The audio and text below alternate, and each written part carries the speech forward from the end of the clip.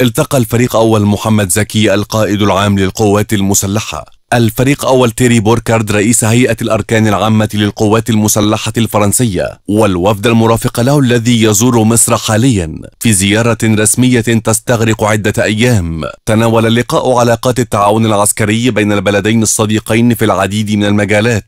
كذلك تداعيات الأوضاع الراهنة وانعكاسها على الأمن والاستقرار بمنطقة الشرق الأوسط. وكان الفريق أسامة عسكر رئيس أركان حرب القوات المسلحة قد استقبل رئيس هيئة الأركان العامة للقوات المسلحة الفرنسية حيث أجريت له مراسم استقبال رسمية بمقر الأمانة العامة لوزارة الدفاع وعزفت الموسيقات العسكرية السلام الوطني لكلا البلدين. وأكد رئيس أركان حرب القوات المسلحة على عمق علاقات الشراكة والتعاون الثنائي وتنسيق الجهود لتحقيق المصالح المشتركة. ودعم آفاق التعاون العسكري وتبادل الخبرات بين القوات المسلحة لكلا الجانبين. من جانبه أعرب رئيس هيئة الأركان العامة للقوات المسلحة الفرنسية عن تقديره لعمق الروابط والعلاقات التي تجمع بين البلدين الصديقين وتوافق الرؤى المشتركة تجاه مختلف القضايا والموضوعات بكافة المجالات العسكرية. حضر اللقاءات. عدد من قادة القوات المسلحة لكلا البلدين